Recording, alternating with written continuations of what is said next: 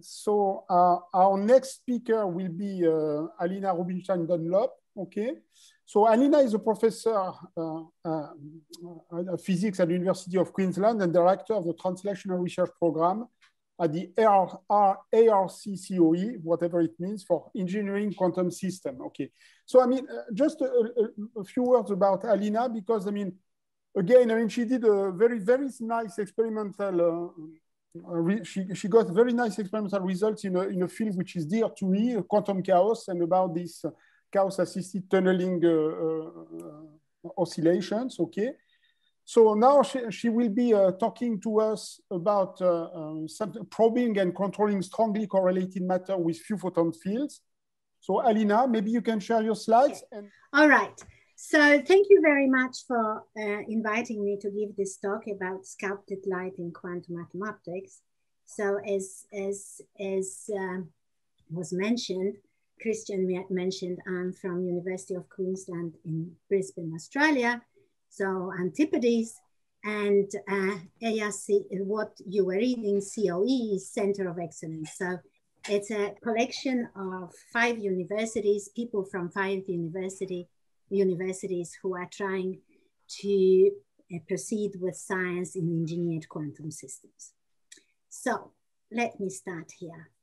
Um, so uh, what I would like to cover today is I would like to talk why we want to use sculpted light in quantum atom optics. And then we heard from Tillman already that there are big difficulties in constructing the fields to our liking. So let's see whether we can contribute to that. And uh, then we can also uh, discuss uh, from, from um, uh, Gretchen Campbell's talk, we learned that having very, uh, very nicely formed potentials, which are very even and very well controlled, is of great importance, especially if you want to make, say, uh, rotational sensors after, uh, out of them. So uh, I want to touch upon that. And then I want to tell you a little bit about how to create the best images. So what sort of corrections and feedback systems I have to use to do that. And then I want to start using those potentials for several interesting questions. And it's a little bit of atomtronics. So this is an experiment that we have done a few years ago and quantum thermodynamics in the gas phase of vortex matter. So in our lab, what we have uh, are two separate experimental setups, which in both of them we can create configurable optical potentials. And one is based upon acousto-optic modulator. So I'm painting here, here uh, time average optical potentials. So I, I, I have my atoms in a sheet of light here, and then with the laser, I paint uh, the potential to my liking. So in this case, a large ring, just the ring that, that um, Gretchen wanted to have. And we can have feedback control over it, so create very, very even potential. So that's one method. And the other one is using digital micromirror devices. And what we are seeing here is our atomic system, BEC system, and um, we can achieve very high resolution images down to diffraction limit in the systems. Okay, so uh, how do people create structured light? Uh, what we want to, to, to be able to play with is intensity, polarization, and phase. And so I can use systems like physical masks, gratings, or holograms and uh, for example, in NIST, uh, they use phase imprinting solitons into a BEC. We have heard about it uh, yesterday or two days ago. Uh, and uh, then uh, the use of Laguerre Gaussian modes has also been done, which carry orbital angular momentum, which was done in NIST and Cambridge. Now, with light, spatial light modulators, uh, the uh, painted potential, optical potential is in Los Alamos, and we are doing it as well. And then uh, there, are, there, there, are games with phase, liquid crystal, and amplitude uh, um, uh, things in DMD SLMs. And this is ENS, UQ, and many more labs. Okay, so how do I choose which device to use for my uh, flexible and well-controlled optical potentials? I, said we can use liquid crystal SLM or we can use digital micromirror device. With both of them, we have techniques in which, which will enable us to control both phase and amplitude. Not straightforward, but it's do, doable. So the question is, uh, what sort of um, resolution we need, what sort of diffraction efficiency we need, what sort of speed, whether we want to do uh, experiments in real time, very fast experiments, then, then the choice will be very clear. So for example, if the speed is of importance, I will definitely choose DMD or uh, acousto-optic deflector. Uh, Resolution-wise, uh, both DMD and liquid crystal SLMs are pretty similar or can be pretty similar. However, if I am after diffraction efficiency, then diffraction efficiency is the lowest for DMDs. But quite often that's not a problem because we have good enough lasers to supply us with being able to use very low diffraction limits. So um, now I want to create very flexible potentials using this sort of device, uh, the DMD here. So I will try to tell you what I do with the DMD and then how I can uh, make the image look uh, the best uh, in the best possible way. So here's my DMD. And what is DMD? DMD is a collection of tiny uh, mirrors which can wiggle with certain angle and that wiggle is controlled uh, very, very precisely so I can program it and, and I can achieve with that any geometry I want. So here what we are achieving is the Sim Siemens star, uh, which also enables us to check the, the, the resolution uh, ability of this device. And then I can take the light, which I have created on my DMD, and put it into my um, uh, BEC. So here is my, uh, my um, sheet of light uh, in which I have my BEC and I come with my DMD with a, a, a specific a geometry of my um, optical potential and I, I, I, put my BEC into that particular potential into my liking.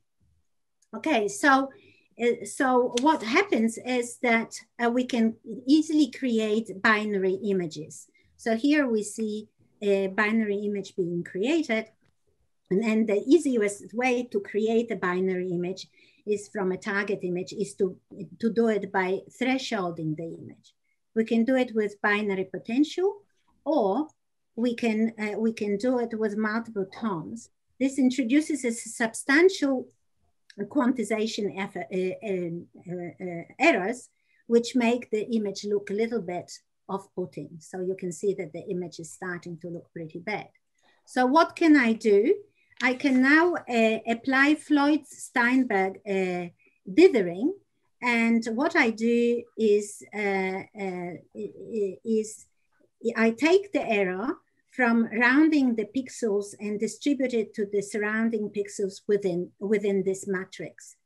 And we do it round first pixel and distribute the error, and then round second pixel and distribute the error again, till we uh, do it with every pixel. And here we see all pixels being rounded. And so if we apply that, this is, uh, I, I do one tone Floyd dithering and then I can apply four tone uh, dithering and you can see that there is improvement in the image. And uh, we can use the same method with a number of tones, much larger number of tones. So let's look at that. And, uh, and uh, here uh, are the same images for comparison. And, and in the system where binary potential is convoluted with the point spread function, it gives us the effect of blurring the image. If we squint with our eyes a bit, we'll see that how the image looks. Okay, so original image, dithered image, and blurred image you have. So uh, the resolution of this image is quite impressive, although it looks a little bit grainy still But if you imagine that the eye of Mona Lisa here is actually uh, about one micron. So the resolution of the system is pretty good. All right, so we have done that. Now I can, uh, this can be used to produce arbitrary tone gray potentials, this method. And in addition, I can also use another technique where we explore fast switching technique to create multiple tones. So I'm switching my DMD very, very quickly, and we can then create gray tones as well when the frames are averaged out. Okay, and so uh, I cross stitch and I use half, ton, uh, half tones and, uh, uh and they have very nice properties because the, each image is a low resolution image of a full image over all the captured features. Each individual pixel switches the fastest it possibly can at the frequency of approximately 4000 hertz when the atoms can no longer see the individual changes of the individual mirrors and are not heated and, uh, during the switching. And so if we apply that method, I can create arbitrary gray tone potentials. So here is Guernica, Picasso's Guernica. And of course, if you come from Australia, you have to have a good, a good image of koala. Okay, and then I continue with, with perfecting uh, my images and then putting the BC into those pot optical potentials by uh, uh, using something which we call uh, correcting aberrations in the projection system using the feed-forward algorithm. So, uh, so this is what we do here, feed-forward algor algorithm. I have target image, I then have no feedback, and then I have correction map, which is the difference between them. And uh, while I do my feedback, what, what is done is I take the projection light, I apply Floyd dithering, and I had corrected target. I capture the image and apply correction map, image minus target, and then I have a good image, which we can see here. So what we have achieved here is the, uh, the with Floyd dithering, we can see great improvement in the uh, image uh, created. And if we apply more than one tone uh, and feed forward, then you can see that this image is starting to look really good. Okay, so then we can go to the intermediate imaging plane and see how we can create uh, uh, those potentials with resolution, as I said, uh, of 0.5 microns in size.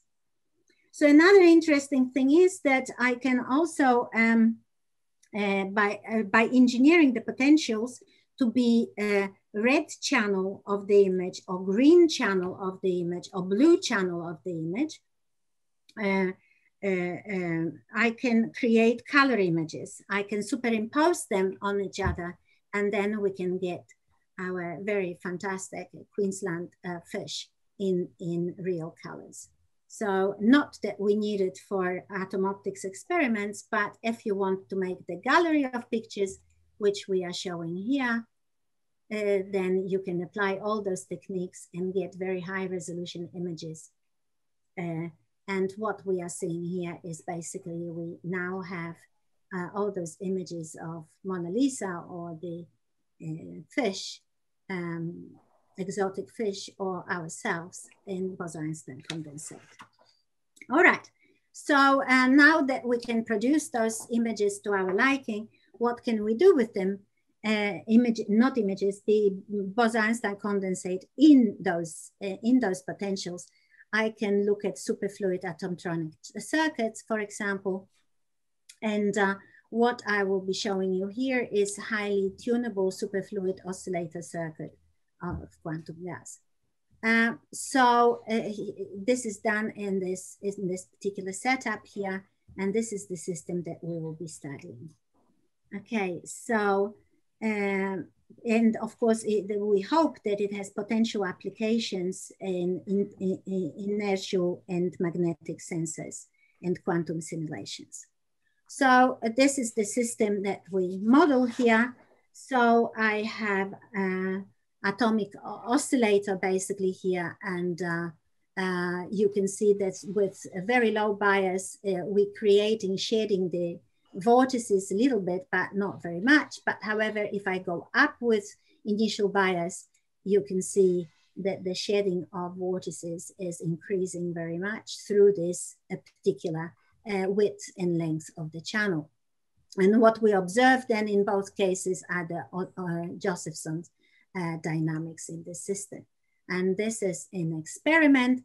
Uh, so, so here uh, we or, originally we put our atoms into one of those dumbbells and then we can uh, generate different sizes and width of length and width of our channel and then move the atom cloud with uh, sh uh, shredded um, uh, with the uh, vortices up and down uh, and you can see that there were many oscillations that we can get and so and that gives us opportunity of, uh, of building acoustic model, uh, of building an um, atomtronic circuit.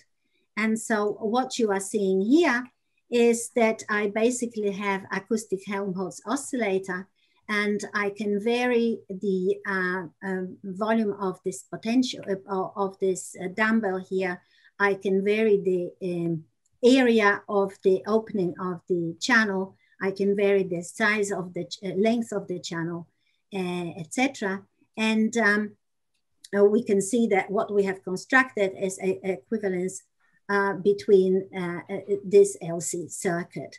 And resulting frequency will be dependent upon the, upon the area, um, cross-sectional area of the channel here, and it'll be uh, inversely proportional to the length of the channel and, and also dependent on the uh, volume of the two uh, uh, containers. Okay, so, uh, so here is the, the summary of acoustic model for an atomtronic oscillator. So I have here double shaped trap, as we said. I bias the, I bias the system with the magnetic gradient and, re, and then I release the gradient and then I watch the oscillations. And what I, as I said, what I can do is to vary the size of, the, of this channel as well as varying the radius of the container. And uh, when we do that, we can observe oscillation frequency, which varies with channel uh, parameters. Uh, and we say that it can be modeled as an equivalent uh, circuit. And so uh, if we summarize what we are seeing here is that uh, we can uh, look at the frequency of oscillations as a function of length of the channel or width of the channel and compare it with the acoustic model. And the comparison is uh, uh, very good. And so we have created a model for predicting the behavior of more complex uh, superfluids. So uh, now I want to look at the vortices in, in, in uh, superfluids. So I want to study turbulence. And we know that uh, Lars Onsager in 1949 uh, was looking at two-dimensional flow, said that two-dimensional flow leads to vortices piling together into larger and larger vortices. And that could be explanation of the yellow um, uh, uh po um, uh, point on, on Jupiter. and and such states become more ordered uh, as the energy in the vortices increases. And that is characteristics of negative absolute temperature. So this is the system I want to look at uh, using my, uh, uh my um, called uh, BEC. So uh, you can see that we are talking about negative absolute temperature which is actually the hottest temperature we can have. And we are looking at the entropy behavior of the, the uh, entropy as a function of energy. And we can see that these clusters uh, um, uh, uh, look like this of vortices are separated and, and cluster, clusters are becoming bigger and bigger the lower the, and the lower the temperature till we reach the negative temperature. So for a gas of vortices, the states appear as a persisting clusters of vortices which uh, spatially co uh, contract uh, the energy is increasing. And so we can do it, uh, we can do it uh, experimentally. And this is the system that we are using here.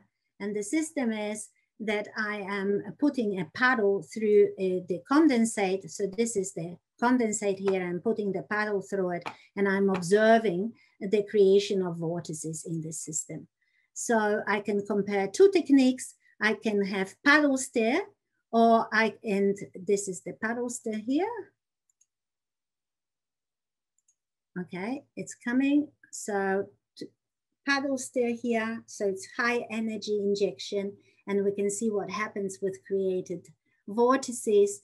Uh, so this uh, the red is one sign of vortices and then the blue is the other sign of vortices. Thank you, yes. And then I can have low energy injection and this low energy injection is presented here. Uh, and uh, this is done with the uh, grid and we can see that the uh, pr uh, production of vortices uh, is not clamped to big parts of the system. So we can summarize it and we what we have shown, we have shown the clustering is persistent and vortex anti-vortex separation inhibits annihilation and mapping to point vortices reveals high energy. So, and then we can, uh, we can uh, compare it with uh, the, the, uh, the models and, uh, uh, and assuming that I know the signs, sign of my vortices, I can compare determine the energy mapping to point vortices and uh, see how the clusters remain deep in the negative temperature region throughout the evolution. Okay, so I'm running out of time, but I wanted to tell you that what we were able to do is that uh, ex this experiment has demonstrated broad capability uh, of uh, injecting vortices with a particular configuration of energy and the neutral system is only one possible configuration of vortices. What about the others? And the lingering question that stays unanswered is about equilibrium. What about far from equilibrium uh, uh, initial conditions? And so I hope that I have uh, a minute or two to tell you a little bit more about the latest experiments that we do. So here we are looking at the phase of chiral vortex matter. So um, what we are looking at here is the solid uh, phase of vortex matter, the Abrikosov uh, lattice. And uh, we can note that we have only a single sign of vortices here. And this is the Hamiltonian that describes the system. And we have that circulation is quantized, circulation is h bar over m, and the, uh, and the angular momentum is given by this uh, uh, formula here. And we can see that interaction energy here is dependent upon the where the, the vortices are placed in the, in the structure. And then we have the point vortices momentum, which is given by this formula here. And so I will skip that and just go to our system here. So um, what we uh, uh, what we are doing here is uh, we are um, uh, looking at the gas phase of chiral point vortices, and it's very similar to the Onsager approach. And so uh, he uh, so the, the phase will be characterized by dilute high energy configuration. Oh, and here we again focus on the single sign chiral system and this is a similar picture to emerges for the chiral system negative temperature clustering. And, um, and in, in this figure, what you can see is that A describes uniform Rankine distribution, B Gaussian, B is the Gaussian distribution, and um, when and and C C is a Riccati um, situation at rotation frequency of zero, and then D is off axis max bifurcation uh, uh, uh, situation. And then if we create this chiral vortices, they can be on axis here, they can be off axis, or the, it can be uh, double vortices here as well. And so uh, if we continue with the system, we have here, we have here high, uh, high energy cluster states, which are associated with off-axis equilibrium uh, states, and multi-clusters, which I showed you here. Okay, and this high energy is dilute states of vortex matter have so far eluded uh, experimentation. So uh, I will skip that and just show you, uh, show, show you the results and I'll go directly to the experimental results. So what we do is we do the side sweep.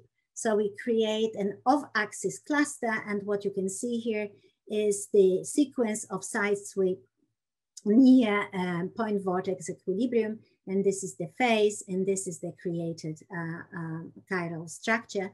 And then I can have double sweep and that's, you see the result of it.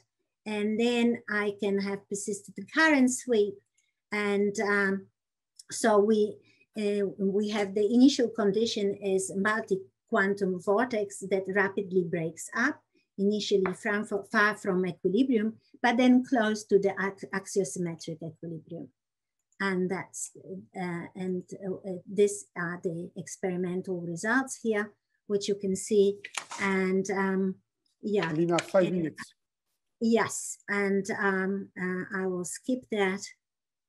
I don't know what's happening here. I didn't want to do this. How do I get out of this? Okay, uh, uh, and uh, I, I show you here the final, final slide, which is showing you the, the after sweep uh, uh, vortex histograms. So you can see here that uh, I have histogram of vortex position here in the middle, and then side sweep gives me this rotating um, chiral, chiral um, vortices. And uh, uh, yes, and with that, I will thank you for your attention. Okay, thank, thank you. you. very much, Alina. Thank you very much. Okay, I can see that the question and answer chat box, there is one question. So, so, so may, may, maybe Alina, you, you, you can read or you Yes, I can read them. Uh, paddle and grid steering. Why is the paddle case uh, called high energy and the grid is called low energy. I would have thought opposite. Uh, maybe I, I think you are right. It's other, other way around. Yes, absolutely right. I'm sorry. Um, is this possible to optically rotate like in a Ferris optical wheel with stability a dilute gas of bosonic atoms between one kilohertz to say megahertz in order to generate a fictive pseudo-magnetic field about the magneton Bohr. Wow, i.e. one megahertz for one Gauss. Hmm. I'm not sure about that actually. I don't know. It would be nice though. Is there any vortex pair annihilation, oops, while they, they form separate clusters in the case of grid steering? Uh, no. No, not really. They sort of big, bigger, big, bigger clusters. I would have a, a question. Okay, yeah. Alina, when you do this nice experiment with a dumbbell potential and, and, and, and this uh, little channel between the two, did you study, I mean, the, the super, uh, the super uh, fountain superfluid effect? No, no. So we, we can see we can see very definitely the oscillation between the oscillations yeah. between the two two, uh, but super fountain effect we have not been able to see. Any other question? Uh, yes. Uh, okay. I ask. I ask question. okay. I want to to, to also and say uh, on uh, DMD. So uh, can you please summarize what you uh, can do in terms of uh, dynamics? So what are the real capabilities of the DMD uh, device when you want to change the potential, uh, trapping potential online, mm. so in, in course of the same experiment? Yes, so uh, potentially you can do it, but the question is um, that if you do it really fast, the question is how fast you can read out what you have done. So, uh, uh, in principle, you should be able to do dynamic uh, um, uh, uh, potentials with the speed that the the um, DMD uh, is, uh, is able to work. However, in practice, it is very difficult to do. Mm. So it is not very fast. So what, what do you mean by, by that? So it's uh, 10 microseconds, 15 microseconds, 100 microseconds? Um, of that order of magnitude, I would have thought. Well, um, maybe sufficient. It's it's not too bad, but uh, you know, uh, uh, that, that's a step along the way. Okay, thanks. Okay, are there any other questions? No, I don't see. Okay, anyway, you can still use the, the chat box and to answer Alina a question she can answer later. Okay.